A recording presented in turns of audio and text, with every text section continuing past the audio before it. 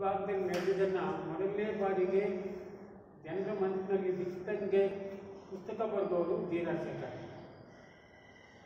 ಆರಂಭದಲ್ಲಿ ನಾನು ಸಾಹಿತ್ಯ ಕ್ಷೇತ್ರಕ್ಕೆ ಬಂದಾಗ ನನ್ನ ಮೊದಲನೇ ಪುಸ್ತಕನೇ ಕಾಗೋಡು ಗಣಪತಪ್ಪನವ್ರ ಪುಸ್ತಕ ಬರಿತಾ ಇದ್ದೆ. ನಾನು ಒಂದು ಕಡೆ ಕಾರ್ಗಲ್ ರೈತರಲ್ಲಿ ಕೆಲಸ ಮಾಡ್ತಾ ಇದ್ದೆ. ಆವಾಗಿನ ತುಂಬ ಸಂಕಷ್ಟ. ಅವಾಗ ನಮ್ಮ ಹತ್ರ ಒಳ್ಳೆ ಗಾಡಿ ಇರಲಿಲ್ಲ ಲೂನಾ ಗಾಡಿ.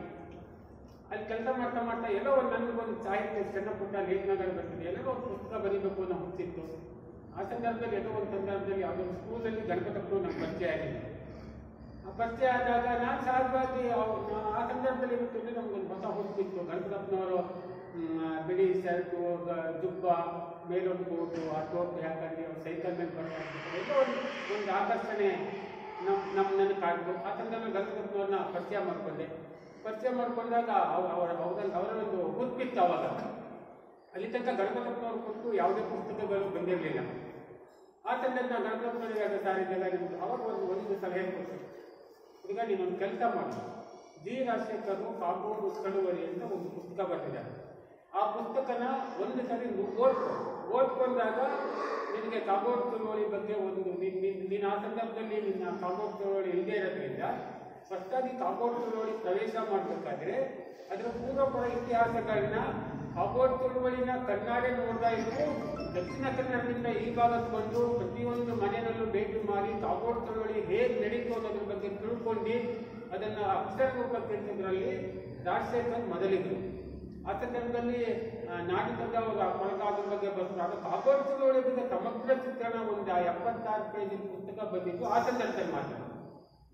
ಹೇಳಿದಾಗ ನನ್ನ ಸರ್ ಅವ್ರೇನು ಅವರು ಹುಡುಗ ಯಾವಾಗ ಬರ್ತಾರೆ ಯಾವಾಗ ಹೋಗ್ತಾರೆ ಗೊತ್ತಿಲ್ಲ. ಮತ್ತು ದಕ್ಷಿಣ ಕನ್ನಡದಿಂದ ಬರ್ತಾ ಇರ್ತಾರೆ, ಅವಾಗ ಅವಾಗ ಮಂಗಳೂರಿಂದ ಬರ್ತಾರೆ. ಬಂದಾಗ ಎಲ್ಲರೂ ಭೇಟಿ ಮಾಡ್ಲಿಕ್ಕೆ ಅವಾಗ ಫೋನಿನ ಸಂಪರ್ಕ ಇದ್ದಿಲ್ಲ. ನಾನಿರ್ಬೋದು, ಲೋಕೇಶ್ ಇರ್ಬೋದು. ನಾವು ಒಂದು ಮೂರ್ನಾಲ್ಕು ಜನ ಸ್ನೇಹಿತರು ಮಾಡ್ತಿದ್ವಿ ನಾವು ಕಾರ್ಗಲ್ ಬೆಂಗಳೂರಲ್ಲಿ ನೈಟ್ ಕೆಲಸ ಮುಗಿಸ್ಕೊ ಬಂದ ತಕ್ಷಣ ಲೂನನ ದೀಪಕ್ ಸಾಗರ್ ಮನೆ ಹತ್ರ ಇಟ್ಕೊಂಡಿರ್ತಿದ್ದೆ.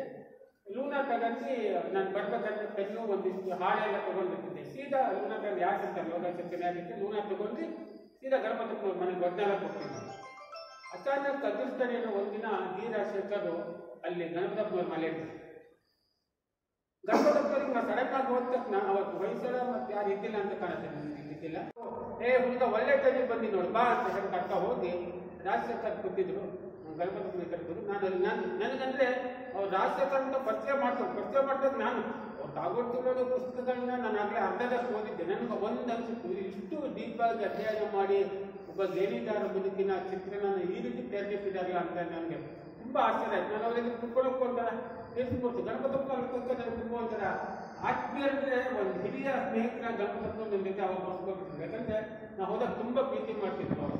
ನಾನು ಪೆಟ್ರೋಲ್ ಹಾಕೋ ಹೋದಾಗ ಹತ್ತಿಗೆ ಬಂದು ದುಡ್ಡು ಕೊಟ್ಟಿದ್ದೀನಿ ಪೆಟ್ರೋಲ್ ಹಾಕೋ ಬಂದಿದ್ದೀನಿ ತಗೊಂಡು ನೀವಿಂದ ಮಾಡ್ತೀನಿ ಅಂತ ಕೊಟ್ಟಿದ್ದೀನಿ ಈ ರೀತಿ ನನಗೆ ರಾಜಶೇಖರ್ ಅವ್ರನ್ನ ಪರಿಚಯ ಮಾಡ್ತೀನಿ ರಾಜಶೇಖರ್ ನನ್ನ ಮಾತಾಡಿದ್ದು ಎರಡೇ ಮಾತು.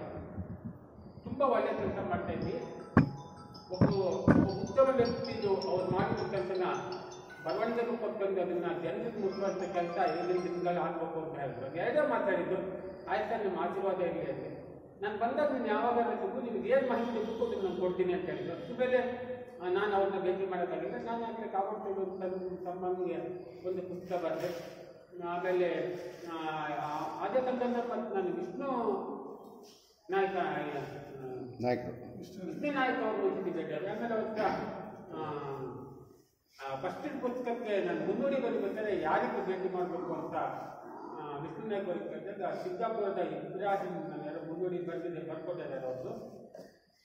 ಯಾರೋ ಮುಸ್ಲಿಂ ಒಬ್ಬರು ಟೀಕೆ ಮೊಹಮ್ಮದ್. ಅವ್ರು ಬರ್ಕೊಂಡು ಟೀಕೆ ಮೊಹಮ್ಮದ್ ಬರ್ಕೊಟ್ಟಾಗ ಅವ್ರ ಮನೆಗೆ ಹೋದಾಗ ಅಲ್ಲೂ ಸಹ ಅವ್ರನ್ನ ಕೇಳಿದ ಬರ್ತದೆ ನೀನು ರಾಜಶೇಖರ್ ಬರ್ತಿದ್ದು ಪುಸ್ತಕ ಓದಿದ್ಯಾ ಅಂತ ಹೇಳಿದ್ರು ಹೌದು ಸರ್ ಓದಿಲ್ಲ ಅದಕ್ಕೆ ನಾನು ಎರಡು ಮೂರು ಸತಿ ಓದ್ಕೊಬಿಟ್ಟಿದ್ದೆ ಆ ಬುಕ್ಕನ್ನು ಒಳ್ಳೆಯದು ಅವ್ರು ಹೇಳ್ತಾರೆ ಇಲ್ಲ ತುಂಬಾ ಚೆನ್ನಾಗಿ ಬರ್ತಾರೆ ನೀನು ಅದನ್ನ ಸ್ವಲ್ಪ ತಲೆ ನಿಂತ್ಕೊಂಡು ಗಣಪತಪ್ಪನವ್ರ ಬಗ್ಗೆ ಬರಿತಾ ಹೋದ್ರೆ ನೀನು ನೋಡಿ ಇದನ್ನ ಚಿತ್ರಿಸ್ತಾ ಹೋಗ್ಬೋದು. ಅಂತ ತುಂಬ ಒಳ್ಳೆ ಇದನ್ನು ಸಹ ಒಂದು ಮುನ್ನುಡಿ ಸಹ ಬರ್ಬೋದು ರೀತಿ ರಾಜಶೇಖರ್ ಭೇಟಿಯಾಗಿ ಬೇಜಾಗಿ ಸಾರಿ ಆಮೇಲೆ ಅವ್ರನ್ನ ನೇರ ಭೇಟಿಯಾಗಿದ್ದ ಬಂದಿದ್ದೆ ಅದು ಅವ್ರ ಅವ್ರ ವ್ಯಕ್ತಿತ್ವ ನಂಗೆ ತುಂಬ ಆಕರ್ಷಿಸಿತು ಅದೇ ಇತರೆ ಎಲ್ಲ ಇದಕ್ಕಿಂತ ಡಿ ರಾಜಶೇಖರ್ ಅವರು ನಮ್ಮ ನೆನಪಿನಲ್ಲಿ ಈ ಭಾಗದ ಮಲ್ನಾಡು ಭಾಗದ ರೈತರ ನೆನಪಿನಲ್ಲಿ ಯಾಕೆ ಬೆಳೆಸ್ತಾರೆ ಅಂದ್ರೆ ಆ ದಿನಗಳ ಕಾಗೋಡು ಚಳವಳಿನ ತಳಮಟ್ಟಕ್ಕೆ ಹೋಗಿ ಅದನ್ನ ಆ ರೈತರಿಗೆ ಮುಟ್ಟಿಸೋ ಕೆಲಸ ಜನಸಾಮಾನ್ಯರ ಮನಸ್ಸಿನಲ್ಲಿ ಬಿತ್ತೋ ಕೆಲಸನ ಆ ಸಂದರ್ಭದಲ್ಲಿ ಆ, ಜಿ ರಾಜಶೇಖರ್ ಮಾಡಿದ್ರು. ಅವ್ರು ಇವತ್ತು ನಮ್ಮೊಂದಿಗಿಲ್ಲ ಅವ್ರ ಆತ್ಮಕ್ಕೆ ಶಾಂತಿ ಸಿಗಲಿ ಅಂತ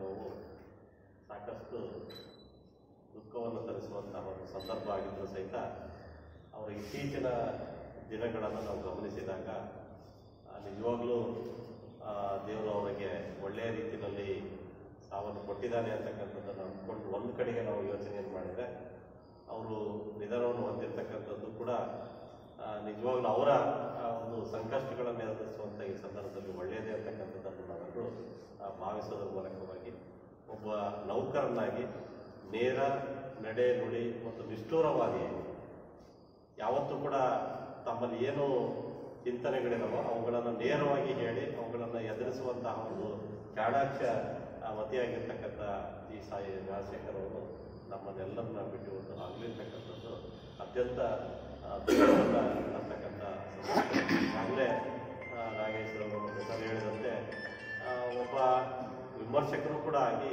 ಇವತ್ತು ವಿಮರ್ಶೆಗಳನ್ನು ಮಾಡ್ತಾ, ಹಲವಾರು ಜನರನ್ನು ಟೀಕೆಗಳನ್ನು ಮಾಡ್ತಕ್ಕಂಥದ್ದು ಅಷ್ಟು ಸುಲಭ ಅಲ್ಲ. ಅಂತಹ ಟೀಕೆಗಳನ್ನು ಕೂಡ ಮಾಡಿ ಅವರುಗಳನ್ನು ತಮ್ಮ ಜೀವನದಲ್ಲಿ ಎದುರಿಸಿರ್ತಕ್ಕಂಥ ಅನೇಕ ಸಂದರ್ಭಗಳನ್ನು ನಾವು ಗಮನಿಸಿದರೆ ಅಂತಹ ಮಹಾನ್ ಚೇತನಗಳು ಇನ್ನೂ ಇರಬೇಕಾಗಿತ್ತು ಅನ್ನುವಂಥದ್ದು ನಮ್ಮೆಲ್ಲರ ಮಧ್ಯದಲ್ಲಿ ಇರಬೇಕಾಗಿತ್ತು ಅಂತಕ್ಕಂಥದ್ದನ್ನು ನಾವು ಅಂದ್ಕೊಳ್ತಾ ಇವತ್ತು ಅವರಿಗೆ ಈ ನುಡಿ ನಮನವನ್ನು ಸಲ್ಲಿಸೋದ್ರ ಮೂಲಕವಾಗಿ ನನ್ನ ಮಾತಿಗೆ ಹೇಳ್ತೀನಿ. ನಮ್ಮೆಲ್ಲ ಅನಿಸಿಕೆಗಳನ್ನು ಹೇಳ್ತೀನಿ. ನಾನು ಇವತ್ತು ಬೆಳಿಗ್ಗೆ ಊರಿಗೆ ಹೋಗಿದ್ದೆ. ನಮ್ಮ ಅಮ್ಮನೂ ಹುಷಾರಿಲ್ಲ ಹಸಿಗಾರು ಮಲ್ಕೊಳ್ತಾರೆ. ಅವರಿಗೆ ರಾಜಶೇಖರ್ ವಿಚಾರವನ್ನು ತಿಳಿಸಿ. ಅಮ್ಮ ಈಗ ರಾಜಶೇಖರ್ ಅವರು ಬಂದ್ಬಿಟ್ರು ಇಪ್ಪತ್ತು ತಾರೀಕು. ಹಂಗಂದ್ಕೊಂಡು ಯಾರು ರಾಜಶೇಖರ್? ಕಾನೂನು ಚಳವಳಿಯ ಪುಸ್ತಕವನ್ನು ಬರೆದಿದ್ರಲ್ಲ ಪ್ರೇಮಿಗೆ ಅವರ ಬಗ್ಗೆ ಅಯ್ಯೋ ಗೊತ್ತು ಗೊತ್ತು. ಅಯ್ಯೋ ಏನಾಗಿದ್ದಪ್ಪ ಅಯ್ಯೋ, ದೇವರೇ ಅಂತ ಒಂದು ಉದ್ಗಾರವನ್ನು ತೆಗೆದು ಯಾಕೆ ಅಂತ ಆ ರೀತಿ ಅವರು ಭಾವಿಸ್ಕೊಂಡ್ರು ಅಂತಂದ್ರೆ ರಾಜಶೇಖರ್ ಅವರು ನಮ್ಮ ಮನೆಗೆ ಈ ಪುಸ್ತಕವನ್ನು ಬರೆಯುವ ಕಾಲದಲ್ಲಿ ಪದೇ ಪದೇ ನಮ್ಮ ತಂದೆಯವ್ರನ್ನ ಸಂಪರ್ಕಕ್ಕೆ ಇದ್ರು ಬಂದಾಗೆಲ್ಲ ಅವರಿಗೆ ನಾಗೇಶ್ವರ ಹೇಳಿದ್ರು ನಾಗೇಶ್ವರ ಬಂದರೂ ಹಾಗೇನೆ ಮತ್ತು ಪತ್ರಿಕೆಯವರು ಬಂದರೂ ಹಾಗೆ, ನೀವು ನಾನು ನೀವು ಬಂದಾಗಲೂ ಹಾಗೇನೆ. ಅವ್ರ ಪ್ರೀತಿಯಿಂದ ಕಾಣ್ತಕ್ಕಂಥ ವಿಚಾರ ನಮ್ಗೆ ಗೊತ್ತಿದೆ. ರಾಜಶೇಖರ್ ಅವರು ಬಹಳ ಪ್ರೀತಿಯಿಂದ ಗೌರವಪೂರ್ವಕ ಕಾಣ್ತಾರೆ ಯಾಕಂದರೆ ದಕ್ಷಿಣ ಕನ್ನಡದಿಂದ ಇಲ್ಲಿಗೆ ಬಂದು ಈ ಕಾಲುಗಳು ಹೋರಾಟದ ಬಗ್ಗೆ ಒಂದು ಪುಸ್ತಕವನ್ನು ಬರಿತಾ ಇದ್ದಾರೆ ಅಂದಾಗ ಅವರಿಗೆ ಅಪಾರವಾದ ಪ್ರೀತಿ ಅವರು ರಾಜಶೇಖರ್ ಮೇಲೆ ಇತ್ತು. ನಮ್ಮ ಅಮ್ಮನಿಗೂ ಹಾಗೆ ಇತ್ತು. ನಮ್ಮ ಅಮ್ಮ ಮನೆ ಮಗನಿಗಿಂತ ಹೆಚ್ಚಾಗಿ ಅವರಿಗೆ ಬಂದು ಬಂದಾಗ ಆತಿಥ್ಯವನ್ನು ಮಾಡಿ ಗೌರವಿಸ್ತಿದ್ರು. ಇವತ್ತು ಬಹಳ ಬೇಸರದಲ್ಲಿ ಅವರು. ಅವರು, ಅವರ ಬೇಸರ ನನಗೂ ತಂಟು ಮಾಡ್ತಿದ್ರು ಅಷ್ಟು ಬೇಸರ ವ್ಯಕ್ತಪಡಿಸಿದ್ರು ರಾಜಶೇಖರ್ ಅವರು ಕಾಗೋಡು ಸತ್ಯಾಗ್ರಹ ರೈತನಲ್ಲಿ ಒಂದು ಪುಸ್ತಕವನ್ನು ಬರೆದು ಕಾಗೋಡು ಹೋರಾಟ, ರೈತ ಹೋರಾಟದ ಬಗ್ಗೆ ಸಮಗ್ರವಾಗಿ ಬರೆದಿದ್ದಾರೆ ತನ್ನ ಹತ್ರ ಬರೋರು ಪಟ್ಟಿಗಳು ತಗೊಳ್ಳೋರು ಈ ಹೋರಾಟದಲ್ಲಿ ಭಾಗಿಗಳಾಗಿದ್ದರು ಯಾರು? ಅವರ ಅಡ್ರೆಸ್ ವಿಳಾಸಗಳನ್ನು ತಗೊಳ್ಳೋದು, ಅವ್ರ ಊರುಗಳು ಎಲ್ಲಿ ಅಂತ ಹೇಳೋದು ಅಲ್ಲಿಗೆ ಹೋಗ್ತಕ್ಕಂಥದ್ದು.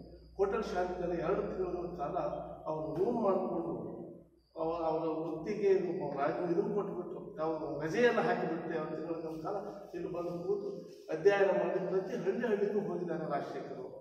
ಅವ್ರಿಗೆ ಹೊಸ ಊರಿರ್ಬೋದು ಆ ನಂತರದಲ್ಲಿ ಬೇಕಾದಷ್ಟು ಇಡೀ ಊರನ್ನು ವ್ಯಾಪಿಸಿಕೊಳ್ತಾರೆ ನಿಮ್ಮಂಥ ಸ್ನೇಹಿತರನ್ನು ಬಹಳಷ್ಟು ಪಡ್ಕೊಳ್ತಾರೆ ಈ ತಾಲೂಕಿನಲ್ಲಿ.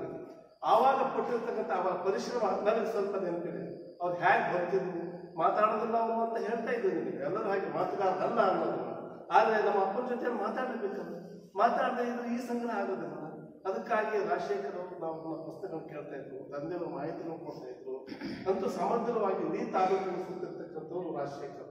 ಅವರ ಅವರ ಬರವಣಿಗೆಗೆ ಹೊಸ ಚೈತನ್ಯವನ್ನು ಕೊಟ್ಟಿದ್ದೆ. ಕಾಗೋಡು ಸತ್ಯಾಗ್ರಹ ಪುಸ್ತಕ. ಅದು ಬಂದ ಮೇಲೆ ಆ ಹೋರಾಟದ ಮೂಲ ಹೇಗೆ?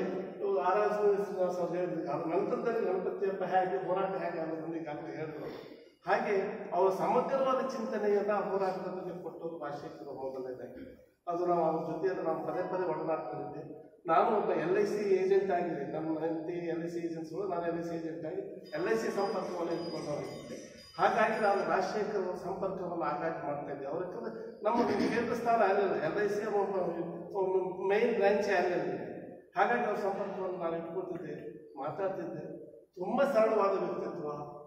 ನಿಗರ್ವಿ ಅವ್ರಿಗೆ ಮಾತಾಡ್ಬೇಕಾದ್ರೆ ಬಹಳ ಗೌರವದಲ್ಲೇ ಮಾತಾಡ್ತಿದ್ರು ಅಂಥವ್ರನ್ನ ಅಂಥವ್ರು ನಾವು ಕಳ್ಕೊಂಡಿದ್ದೀವಿ ಅವರ ಆತ್ಮಕ್ಕೆ ಶಾಂತಿ ಸಿಗಲಿ. ಅವರ ಕುಟುಂಬ ವರ್ಗದವರಿಗೆ ಈ ದುಃಖವನ್ನು ಬೆಳೆಸತಕ್ಕಂಥ ಶಕ್ತಿ ಆ ದೇವರು